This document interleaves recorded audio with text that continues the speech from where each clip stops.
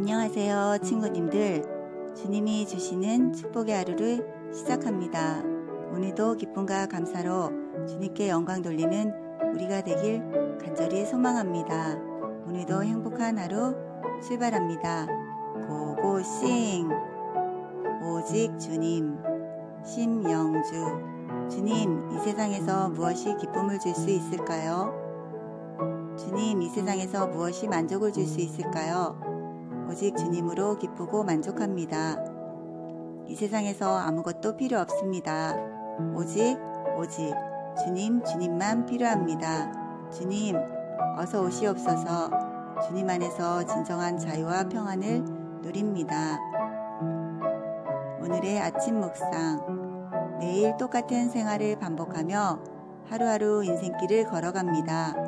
태어날 때부터 비단길을 걷는 사람도 있고, 꽃길을 걷는 사람, 자갈길을 걷는 사람, 진흙탕길을 걷는 사람 등 다 각자의 삶이 주어지는 길을 걸어갑니다.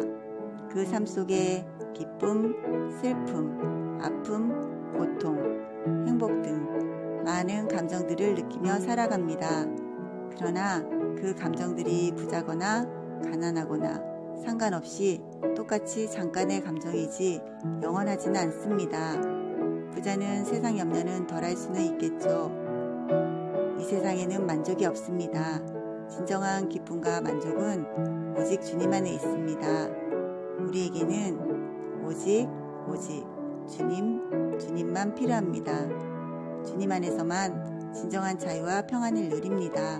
주님 안에서 진정한 기쁨과 만족, 진정한 자유와 평안을 누리는 우리 모두가 됩시다. 모두 모두 화이팅!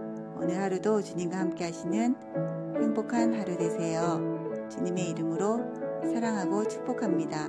찬양 연주 들으시며 주님 안에서의 진정한 기쁨과 만족, 진정한 자유와 평안을 누리시길 소망합니다.